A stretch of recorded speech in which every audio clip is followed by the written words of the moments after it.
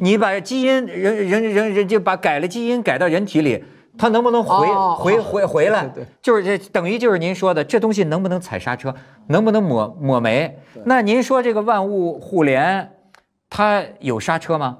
这最后又变成一个全球管制的问题，就是全球可能得坐下来，我们说刹车在哪儿呢？人类命运共同体吗？对，因为 万物互联带来另外一个伴随伴随的最大的问题是安全和隐私的保护。对了，数据网络安全，所以现在国外呢流行这么一种做法，就是政府甚至把频率分给了一些企业。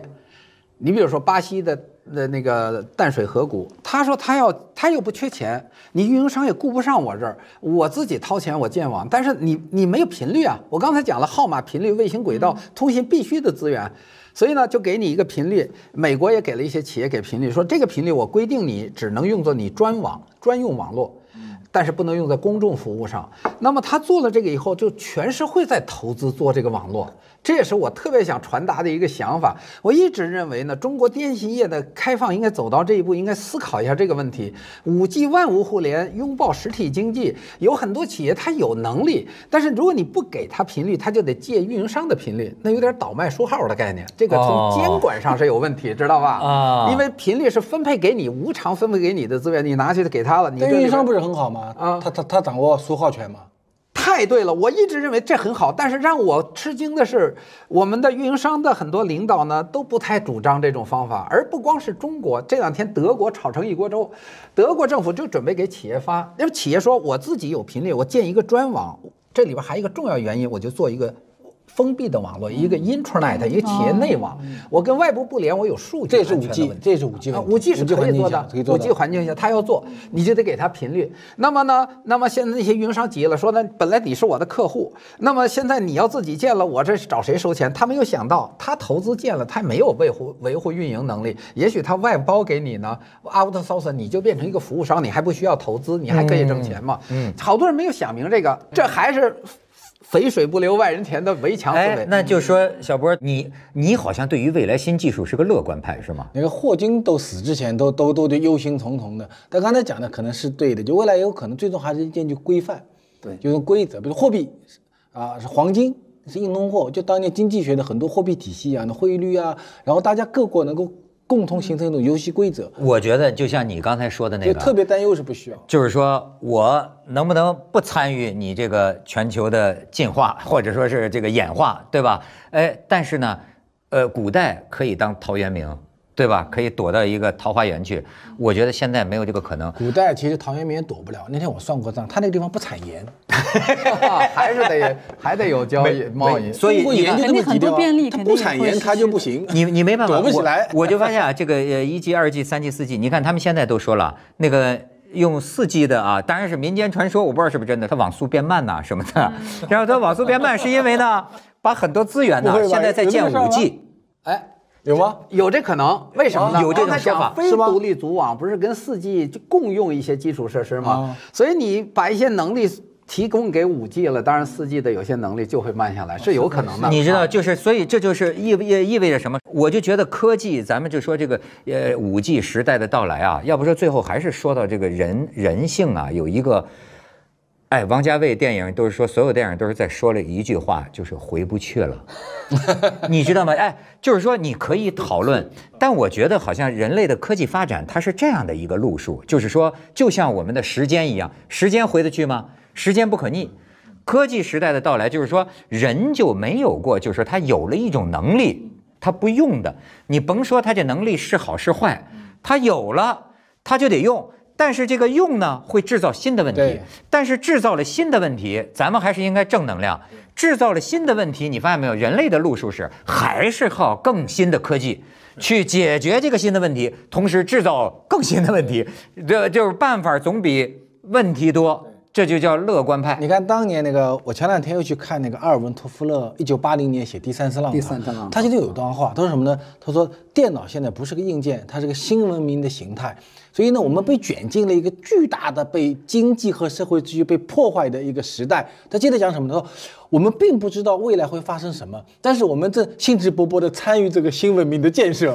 我们几乎就头差不多，我们也不知道未来会怎么样，都挺高兴的在那谈这个事儿。哎 哎，义军想想想不是我在想赫拉利不用手机，他的周围的所有的人捧着手机帮他，他的信息是别人得人工喂给他的。人工给他我就说最后啊，我们在这个这五 G 或者是六 G 时代，在顶端的那个人很可能是不用这些的那个人。哎对，，写未来前史人不用智能手机。因为一加一跟白岩松做那五 G 节目的时候，我们俩就讨论过这事儿。我说我说我为什么说五 G 改变社会就在这儿？我说其实电视转播权的拍卖并不是一开始就有，以前都是胶卷厂商在赞助。那么始自于一九八四年，美国洛杉矶奥组委的主席没钱了呃尤布罗斯说，呃，他是叫为什么点石成金呢？他提了个建议，拍卖电视转播权，然后呢？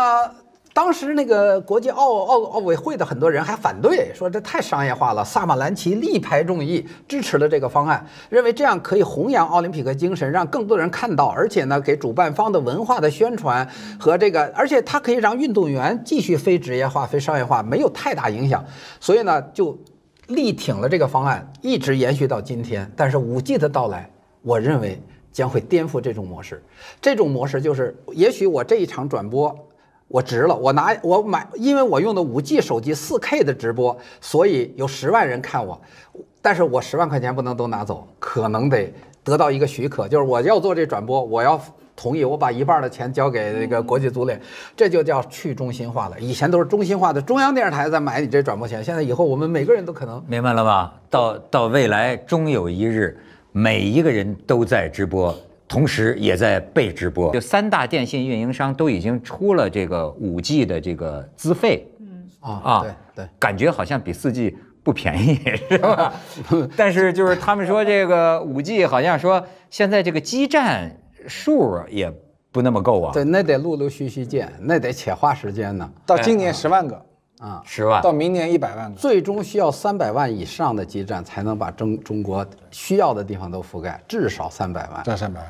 义军有什么问题？没有我我有一个缠绕在我脑子里不太明白，还说一个频谱，说他还说频谱还是个不可再生资源，对，说说说中国这个够吗？就是咱们能有这么多的频谱去开发的。呃这个频谱不光是中国的问题，因为你比如中国老百姓吧，使用这个频率的四 G、五 G 手机啊，使用五 G 手机，它还要出国漫游，所以它国际上必须协调哦，它必须在同一个频率上。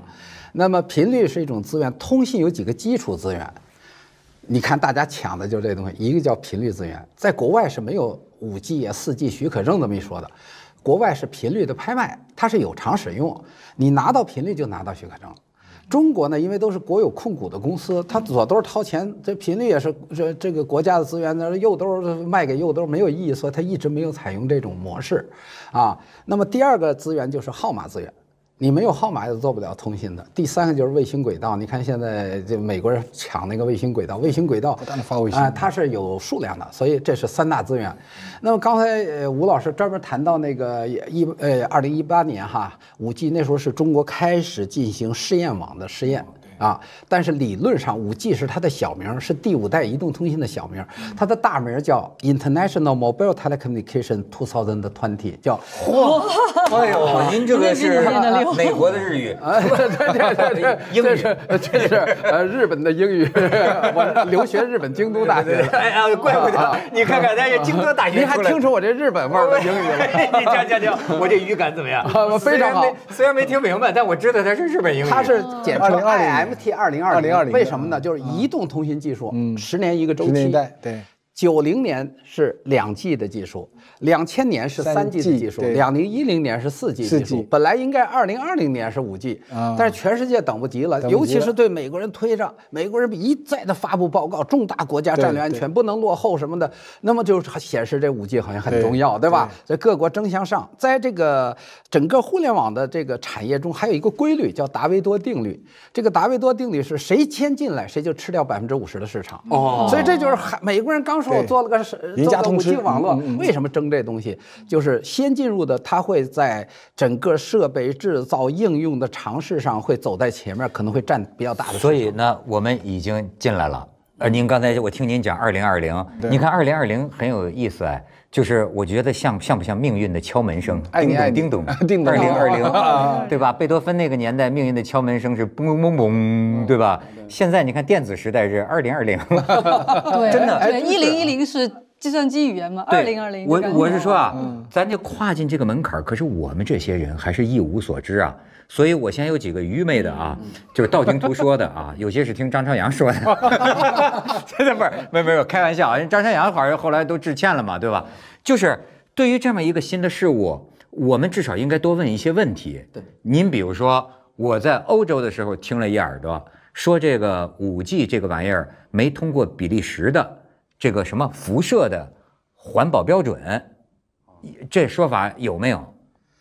这个国际上就是它辐射厉不厉害？其实辐射呢，呃，各个国家都有自己的标准。我们中国有中国的标准，中国的标准是美国的五十分之一，就是允许的最大辐射辐射的这个幅度，呃远远的低于就移动通信的辐射的幅度，远远低于微波炉的辐射。嗯，这个我们国家是有控制的。这个呃当时张朝阳说的那个观点呢，就是五 G 会带来巨大辐射呢，它原因就是五 G 的频率比较高，频率比较高的地方呢，会产生一种特特殊的电磁辐射的那种作用哈，就老百姓怎么能懂呢？就是说，简单的说，就是这个产生伤害的这个东西，它不是光是这个能量一个地方决决定的。啊，它就是能量和动量两个的乘积，就像我们的电压电的功率是由电流乘电压一样，它是两个的乘积。什么意思呢？我就简单讲一个例子哈，就是说，你说那车能把人撞死吧？肯定啊但是呢，低速行驶、怠速行驶车是撞不死人的。就是说，它有能量，但是它动量不够，嗯，它依然不会伤及你。那为什么啊五 G 呢？确实它能量增大，因为它频率高了，所以它的携载的信息的能力也在增加，但是它动量没那么高，因为五 G 视距传输，它频率越高，它的那个呃绕射性能就越差，这就是波长跟。频率的关系，知道吧？哦频那么我们现在五 G 频率老说频率特别高，就是它其它它那个波长很短，波长短于障碍物的时候，它就绕不过去了。这就意味着五 G 为什么成本高？说你在楼这边建个基站，一遮挡那边没信号了。那么这样的话呢，它也不需要很大的功率。能明白吧哦？因为他就把这一小块把咱这院儿里覆盖就行了，他院儿外边他就没信号了，这不是他就遮挡了，什么东西一挡他们？那以前广电的七百兆的频率，一个城市一个电视塔可以让所有人都收到，当然它那就要比较大的功率，对但是它呢频率比较低，它就。它那个能量比较低，所以两个乘积呢，它有一个控制的参量，不会造成那么大的对人体的伤害。哎，这讲的挺通俗了。说说这个五 G 基站是未来中国大地上是一个什么篮球场那么大，就会需要一个基站是吧？就密度差不那么高吗？，有的地只要有遮挡，一个篮球场就要一个基站，那不好因为它就万怎么够啊？这个原因就是在于，嗯，它遮挡物太多了，所以呢，它就要频繁的而且五 G。这一次是新，而且不像四 G，四 G 是在三建的基础上新建的嘛，是就那个浙江模式当年改的嘛。这次我听说五 G 是全部抹掉，重新再建。呃，是这样，哎，吴老师，这个也是一个社会关注的问题，哦啊这涉及到将来使用的费用啊。对啊，对啊，就是五 G 呢，现在的运营商做的都叫非独立组网。嗯，非独立组网呢，就是在原来四 G 基站的基础上，沿用一些四 G 可以使用的基础设施，在上面加一些五 G 的能力来做的。但是那个在五 G 的真正的几大特征上，它解决不了。比如说一毫秒的时延，它做不到；比如每平方公里一百万个接入的能力，它做不到。所以呢，真正要走到五 G 的应用，就要独立独立组组网，我们叫 SA。小波，你呃谈谈你对五 G 时代到来的感受，它会给我们生活带来什么？我觉得对它那个那个一个运营商那句话挺对的，就是四 G 是改变生活，我们信息啊、信服务啊，包括移动支付啊，五 G 是改变社会。怎么叫改变社会呢？它把它的速度是会大幅度增加。然后呢，比如物联网，你比如说汽车自动驾驶汽车，你在四 G 环境下是没办法完成的嘛，你只有在五 G 环境下才能完成。你车子本身你要你要测试，因为你车子要开，你你有道道路那么多道路路况，那么它需要比如说一个自动驾驶汽车，它需要测知随时测知一百五十米到两百米之内的。动况它能够产生反应，那就两个条件：第一，它要有即时的一个计算速度，嗯，那四 G 是算不过来，就要有更大更大的计算能力，那五 G 能算。第二的问题是，这一百五十米之内你都得有基站，都得有有环境。哎，你看开着开着它的车没有了，你没信号了。对，所以五 G 实际上是一个整个改造一个社会，比如说还有远程医疗，嗯，比如手机公司现在想的很多的还是泛娱乐，泛娱乐部。呃，五 G 的我觉得会改变挺多的，比如娱乐，比如视频，这只是一类，像手机，还有手机这种呃终端制造商，还有比如汽车，还有工厂，整个一个工厂环境下的大数据处理能力。这个说的非常的，这个说到五 G 的根儿上对。了啊。它改造社会，车联网车联物联网物联工业互联网。对，零四年零零九四年那个凯文凯利写《失控》，我经常让看他的书，他说未来啊会每一个沙粒，他讲的很很太极端啊，沙粒和衣服里面都会有一个传感器，但你怎么可能呢？一个传感器六美金、十美金的搞，那现在就未来五 G 环境下就会这样。但是刚才吴老师说了一个很重要的，就是大家应该了解，就是移动通信的技术啊，我们的研究表明，就是它的基数代都是颠覆性的，嗯，就是一代、三三代、五五代，嗯，所以五 G 呢就是要改变社会，就在这个地方，一代呢就大哥大出现了，不用拽根线打电话了，它无处不在打电话，创造一个全新的应用场景。就。最早就叫无线电话啊，无线电话，真的大哥大，咱们都用过我们我们当年用过，因为你知道，我当年二十九岁的时候，在广东呃电台的时候，那个时候我是个肥用了个大哥大我是个肥胖基因，你知道吗？就是其实我要不饿着，我就是个大胖子。我那个时候五天五天吃一顿饭，我我不是 我没没一天吃一顿，不是我那个时候体重也一百六十八斤，有吗然后呢，对啊，然后我一个大学同学，有个湖北人，特瘦，他就整天跟我一块玩嘛，他走在马路上，他不愿意跟我走一块儿，用我那大哥大打电话，他说谁看我都像你的马仔。哎，义军讲讲你你对五 G 的理解，我觉得五 G 对我来就对我来讲两个关键词嘛，刚才大家说的是这个万物互联，另外一个关键词就是没有这个时延。我最感兴趣是这个东西，它就是没有这个时间差。我们现在比如说我上网，我订了个东西，我已经开始很很着急，没有耐心了，我恨不得第二天他就给我，不要说第二天，当天就是下单当天一定给我送来。但到五 G 的时候，它就更快了。就是我觉得我们的耐心会越来越少。比如说我跟我要跟你见面、跟你说话或者干嘛，就是你一定这个中间就没有任何距离感。这个东西我有点无法想象，一个没有食言的人际关系是一个什么样子。所以这个符合啊，我们也做观众调查呀、就说聊五 G 啊，这个很多观众问一个问题，就是说，我觉得这个需要文科生和理科生共工科生共同回答，就是说我们还不够快吗？我们还需要那么快吗？当然，我我给你讲个场景啊，刚才义军谈的这个场景，呃，五 G 有一个应用的特征呢，叫每呃就是叫高可靠低时延，能够做到一毫秒的时延。一毫秒什么概念呢？就是你拿根针扎你的手，你感觉到疼痛，传递时间十毫秒，它比那个还快，天哪！快十倍。我的天那它干什么用的呢？其实理论上呢，它还是用在网络上，比如用在无人驾驶汽车的操控上。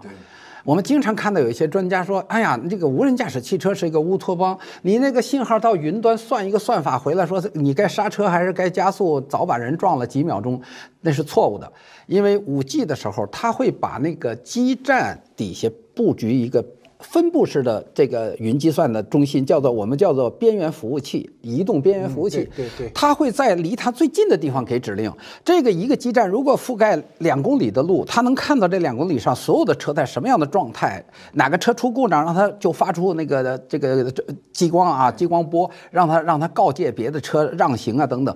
它这个时候它只有这个车载终端到基站之间的时延，空间接口之间时延能做到一毫秒，那长了不行。那端边云是吧？啊，端边云啊。那么你刚才说那个它会用在哪儿？我讲一个例子啊。嗯。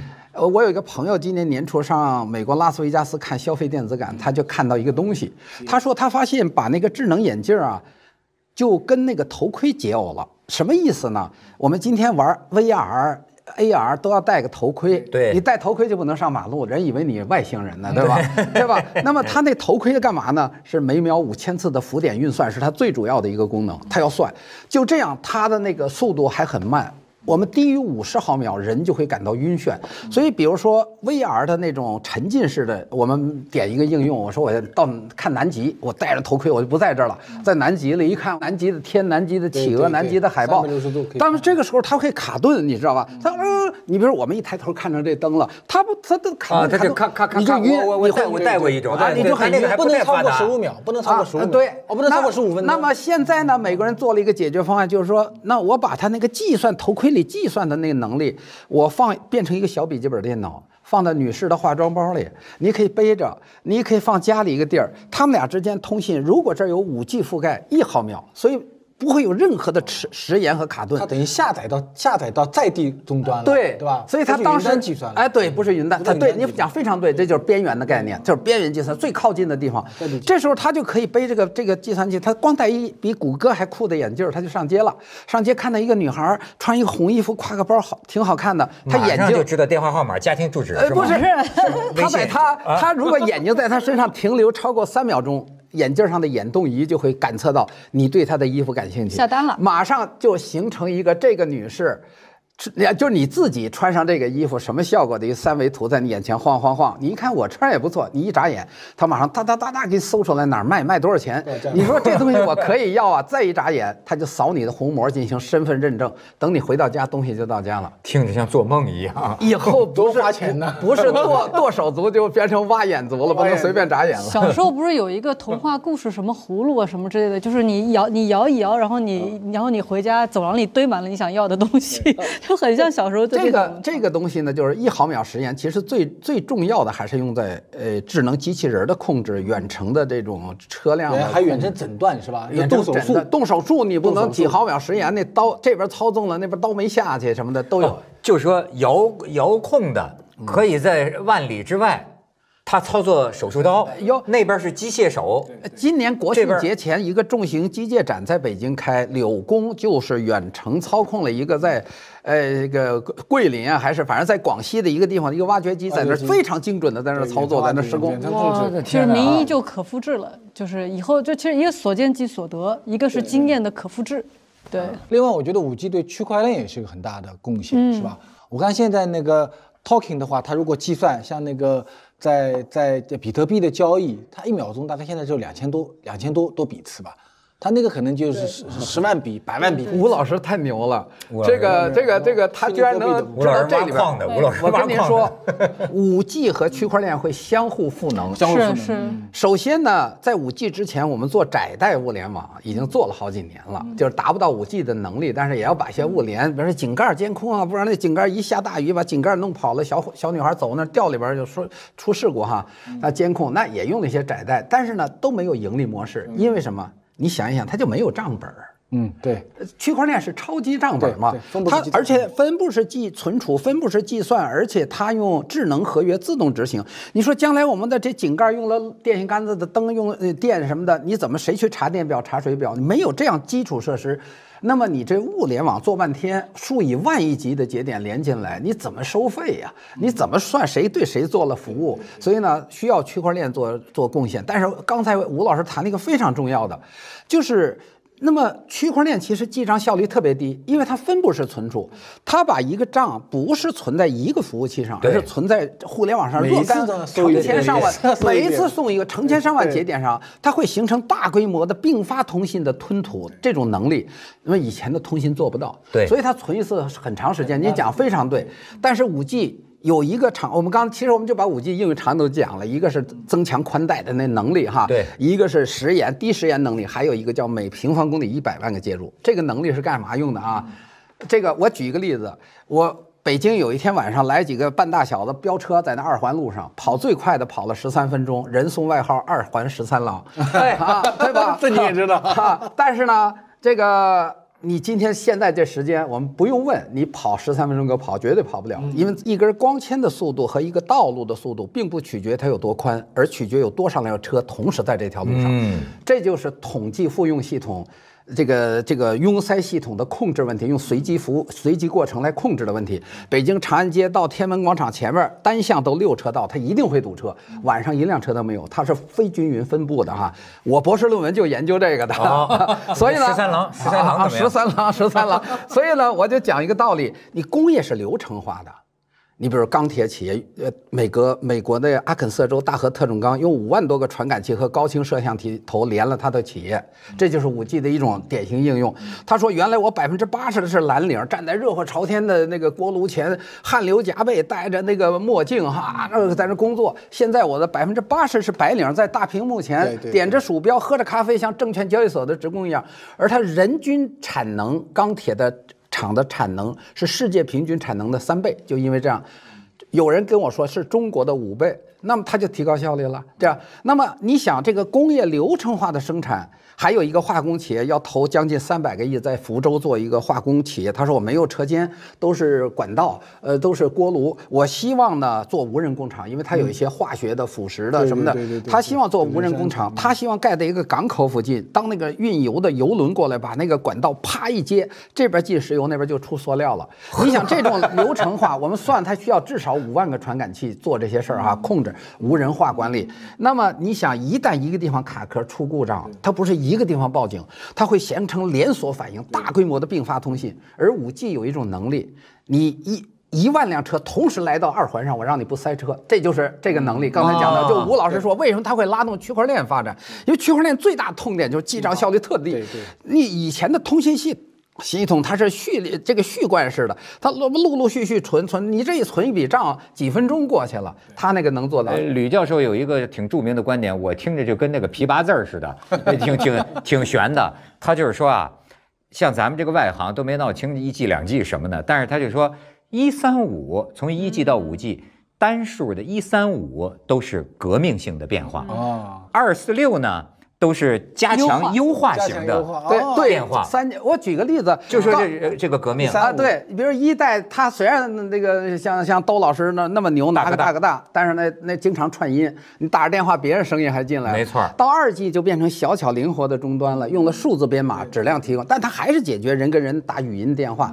三 G 呢，它开创一种新的场景，说我拿这手机啊，不仅打电话，还要让你上网。我五 G 的批评的人很多哈，我跟你说，我我听了以后我太习惯了，因为三 G 的时候比这批评五 G 的人多多。